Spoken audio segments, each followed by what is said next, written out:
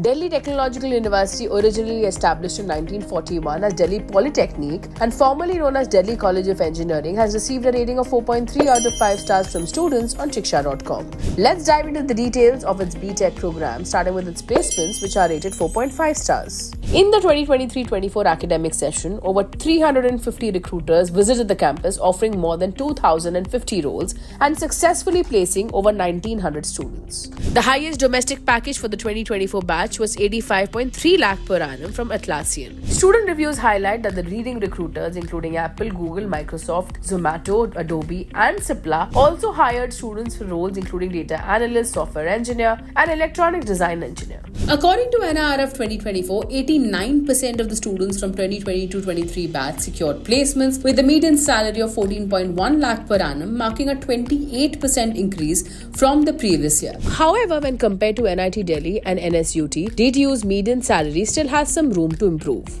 For internships, BTech students are required to complete a four week winter internship and an eight week summer internship program. On campus opportunities are limited with companies like TCS, Uber, and Mahindra offering roles. Many students also pursue off campus internships. Moving on now to academics, where DTU offers a four year BTech program with 15 specializations, including unique ones like production and industrial engineering, mathematics and computing, and engineering physics. Admissions are based on JAC Delhi JEE main scores with eligibility requiring a 60% in 12th boards. Regarding the costs, the total tuition fee for the four-year program is approximately 6.42 lakhs. Meanwhile, the hostel fees for the same year duration ranges from 2.08 lakhs to 2.88 lakhs depending on the type of room and occupancy. Scholarships are available based on merit and reserved category eligibility. Moving on now to infrastructure rated 4.2 stars.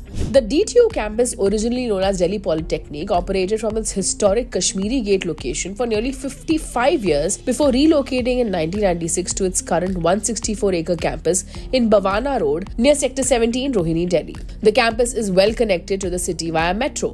The Wi Fi enabled campus features spacious ICT enabled classrooms, a fully stocked library, auditoriums, an EduSat lab, and specialized labs in areas like artificial intelligence, malware analysis, software engineering, and microprocessor and interfacing. There are separate hostels available for boys and girls, offering shared rooms. While hostel food is considered average, the canteen food is affordable and well liked. The university offers various sports facilities including football, basketball, and cricket, along with a fully equipped gym. Other amenities include a health center and guest house. Next, let's take a look at the faculty and course rated 4 stars. Most faculty members hold PhDs from IITs and NITs and possess extensive teaching experience.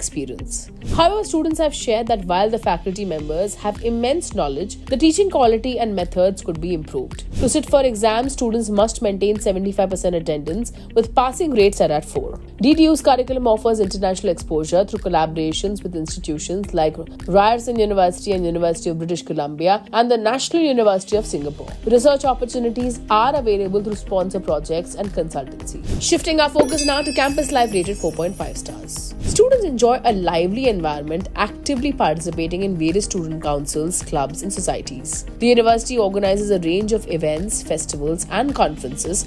Lastly, regarding rankings, Delhi Technological University is currently ranked 27th under the NIRF 2024 engineering category. For more details on Delhi Technological University, Rohini, Delhi, and to explore thousands of courses and college reviews, download the Shiksha.com app now. We would like to hear from you, so do drop in a comment below and don't forget to like and share this video.